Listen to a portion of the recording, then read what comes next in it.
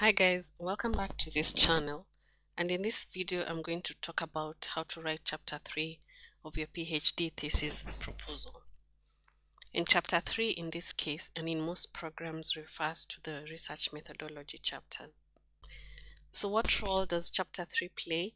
Chapter 3 basically details how the student is going to go about conducting his study and answering your research questions or achieving your research objectives.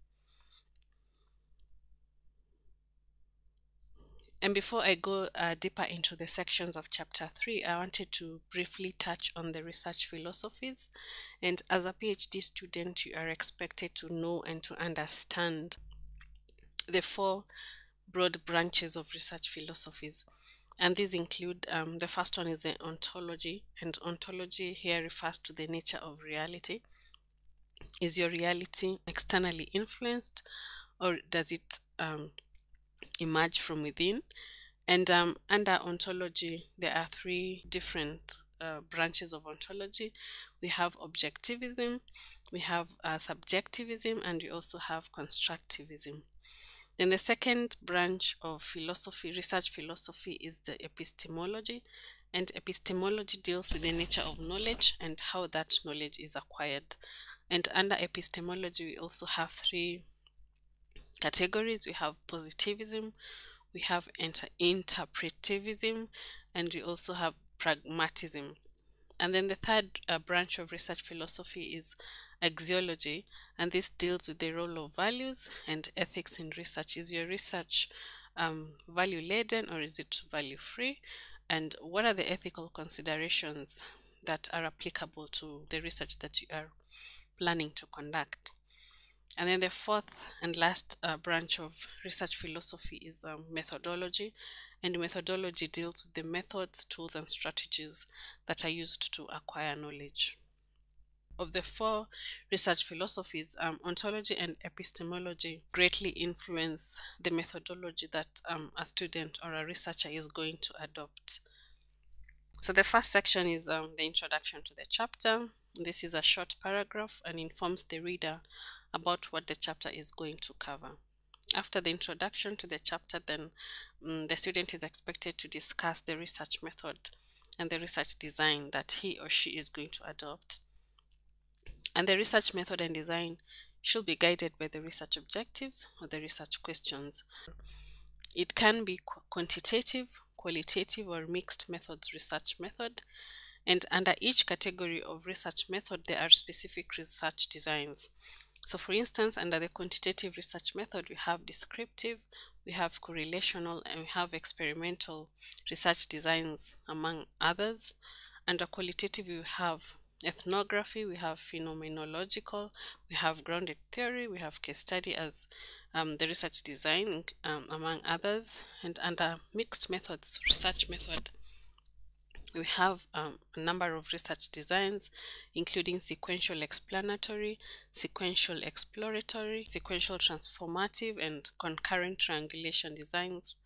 And um, each of these research design has its pros and cons, so it is up to the researcher to choose um, which method and which design is applicable to answer his or her research question and to achieve the research objectives and you should always justify why you have chosen that research method and research design.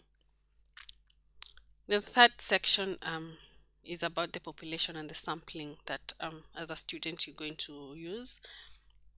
And the population is the entire list of your subjects of interest. Um, uh, in most cases, it is impossible to reach the entire population especially if the elements in that population are, are many or, or if the population is large. So as a result of that, um, you are expected to get a sample from that population. And how you go about choosing a sample is what is referred to as a sampling, sampling procedure. So a sample is a subset of the population of study from which data is going to be collected and the sample size should be determined a priori and especially if you're going to use the quantitative research method but if the population is small you can the population can also act as your sample so sampling is a process by which a sample is drawn from a population And there are two broad categories of sampling. Um, these are uh, the random and purposive sampling strategies. So the random sampling is basically used uh, primarily for quantitative studies and here the sample is selected randomly whereby each subject in the population has an equal chance of being selected for the sample. And the advantage of using the ran random sampling technique is that you can be able to generalize your results to, to, the entire population. And then the second broad category of sampling is the purposive sampling. And this is used primarily for qualitative studies.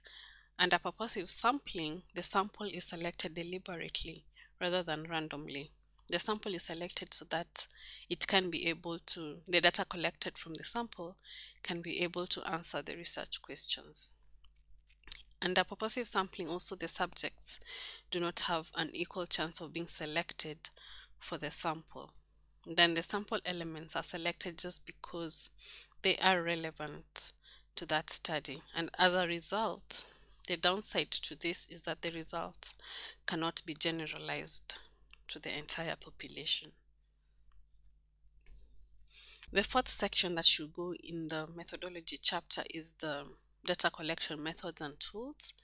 And there are two broad categories of data type. Uh, we have primary data or secondary data. So primary data is the data that the researcher himself go, goes about collecting, whereas secondary data is data that already exists, that has been collected by other people, and so the researcher um, gets this data that already exists and uses it to for his own research study. And then we also have um, various data collection methods and tools, and the use of these methods and tools depends on the research, research design that um, the researcher has specified earlier. Under this section also the student is expected to, to discuss how he's going to go about recording the notes. Is he going to take notes using pen and paper or is he going to use digital tools such as a mobile phone or tablets? So under data collection methods and tools, we have um, quite a number of them. We have the survey. The survey is used for quantitative studies and here you use a structured questionnaire to collect data. We also have interviews. Interviews are mostly used for qualitative study. You can use um, either a semi-structured interview guide or um, an unstructured questionnaire to conduct your interviews. And here you have a mixture of both closed-ended questions as well as open-ended questions. Then we also have focus group discussions, which are also used for qualitative studies. And here, rather than um, conducting interviews from one um, individual, you, you, you, you sort of form a group of respondents and then uh, conduct a discussion using that group of respondents. We have observation. Observation is also used uh, primarily in qualitative studies. And here you can use uh, observation protocol to collect the data that you're interested in collecting. you also have document review, which are mostly used um, when you just want to review information that are that already exists in documents. So there are quite a number of uh, data collection methods and tools that a student can use. So once you have discussed your research method, you have discussed your research designs, you have discussed how you're going to go about um, collecting data, the next important section that you need to discuss in your research methodologies chapter is the ethical considerations. And these are very important, especially in studies that deal with human subjects. And the ethical considerations will vary from study to study, depending on who or what the units of study are. The ethical considerations will depend on whether the study involves human subjects or organizations, institutions. Also, does the study involve minors and does it involve disadvantaged communities or not? Um, so these are the um, questions that the student needs to answer before deciding on the ethical considerations that are applicable to his or her study. And some of the ethical considerations include um, obtaining ethical clearance and research permit from relevant authorities. This is very important for any PhD level research. It is before you proceed with your data collection, you're supposed to obtain ethical clearance from your university and research permit from any relevant authority. And this depends, of course, on um, on the country where your study is taking place and also it also varies from one institution to another. The other ethical consideration is informed consent, whereby um, you need to inform your respondents that uh, you're planning to conduct this study and that they have been um, identified as um, as one of the respondents for the study. So they're supposed to sign a consent form. So as a researcher and as a student before you go up before you start your interview before you start administering your questionnaire you're supposed to you're supposed to administer a consent form whereby the respondent is supposed to sign before you start your data collection.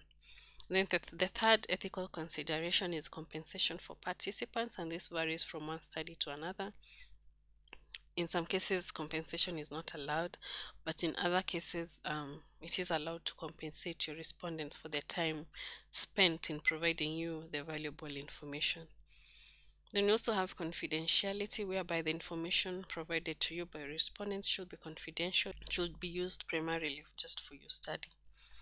Then the other ethical consideration is um, considering the harm versus the benefits to your participants um, your study should not harm your respondents at all in any way, and it should offer benefits to your participants. So, in your introduction letter, you're supposed to highlight the potential benefits that the participants are likely to experience by them participating in in that study.